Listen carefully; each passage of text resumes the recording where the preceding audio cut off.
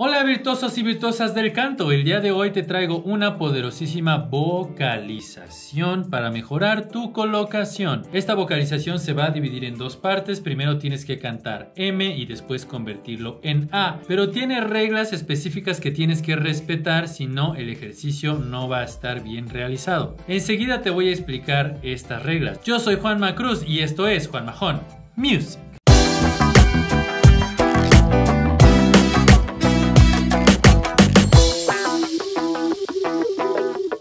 Muy bien, virtuoso, virtuosa de la música. Las reglas son muy sencillas. Vamos a cantar primero con M y después con A, de esta manera.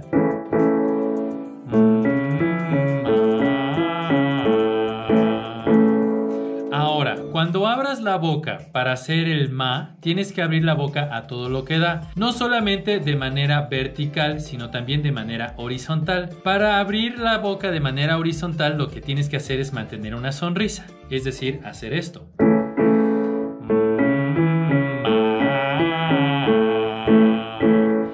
Mantienes la sonrisa durante todo el ejercicio, el ejercicio va a salir obviamente mucho mejor. Ahora, este es un ejercicio un poco de dificultad intermedia. ¿Por qué? Porque ya tienes que tener cierto dominio sobre la respiración y cierto dominio sobre el diafragma. En el caso de que no tengas este dominio, aquí te voy a dejar unos ejercicios que te pueden ayudar a que logres este objetivo. Esta es una vocalización sin guía, lo cual significa que no hay una voz que te ayude a cantar de manera correcta. El objetivo de hacer una vocalización correctamente es seguir el piano. Cuando haces una vocalización no hay una voz que te guíe. Simplemente tienes que afinarte al piano. Y esta tiene ese objetivo. En el caso de que tú no puedas seguir el piano, afinarte al piano o concentrarte en las notas del piano, te aconsejo hacer el video que te dejo aquí abajo que es esta misma vocalización, pero con una guía de afinación, es decir, con una voz que te ayuda para ser tu guía.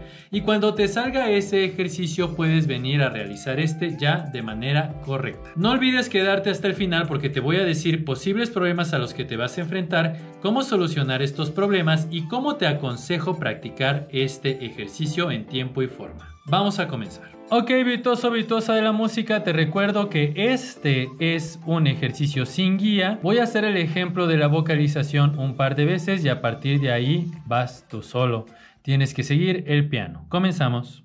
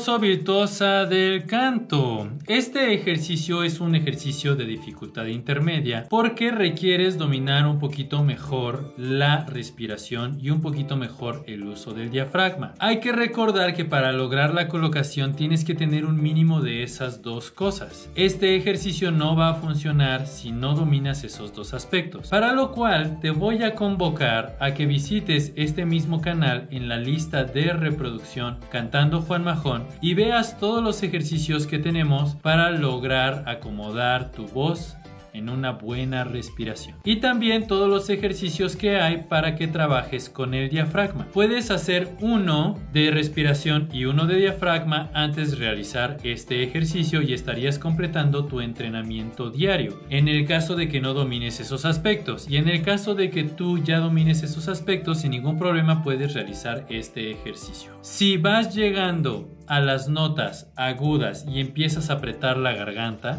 eso quiere decir que requieres trabajar más tu respiración y más el diafragma. La solución sería esa, hacer ejercicios de diafragma y respiración previos a este ejercicio. Ahora, ¿cómo te aconsejo practicar este ejercicio?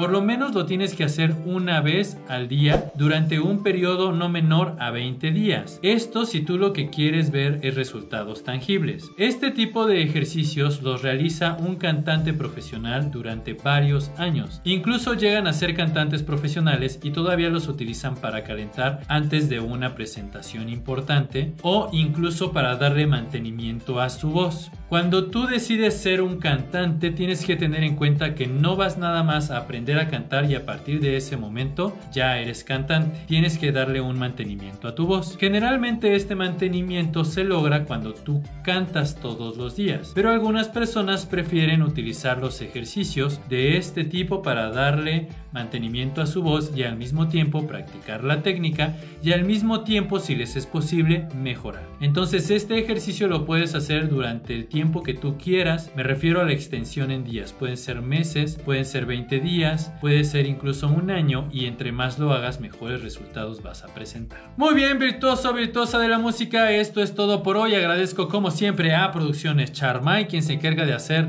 las ediciones de todos los videos que tú ves en todas mis sociales. Si quieres trabajar algún tipo de producción, postproducción, diseño, lo que tú quieras, puedes contactarlos a ellos, son excelentes como ya lo puedes comprobar en este poderosísimo canal.